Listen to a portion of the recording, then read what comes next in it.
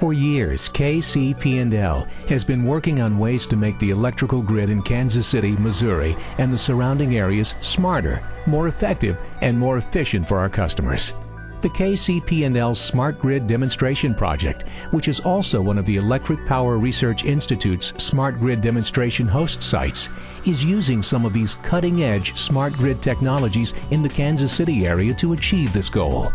This smarter grid will use technologies at KCP&L and the customer's residence, working together to reduce or even prevent power outages. Our Smart Grid project integrates technology that enables advanced two-way communication between us, our customers, and our electricity distribution system.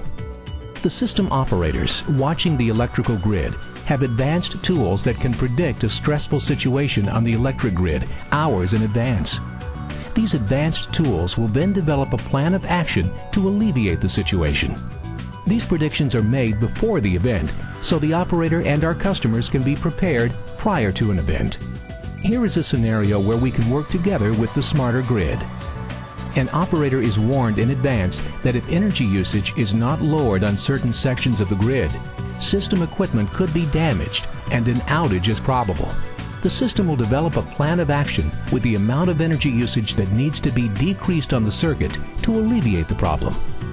The system will also identify surrounding demand response participants and the amount of energy available to be decreased on the circuit.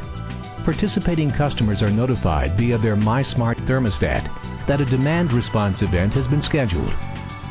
When the time arrives and the event hasn't been resolved naturally, the system operator can request the scheduled localized demand response event be executed in the participating homes and businesses of the affected area the system operator sends out the command, communicating wirelessly, and the demand response systems, like MySmart thermostats, are engaged to reduce the load.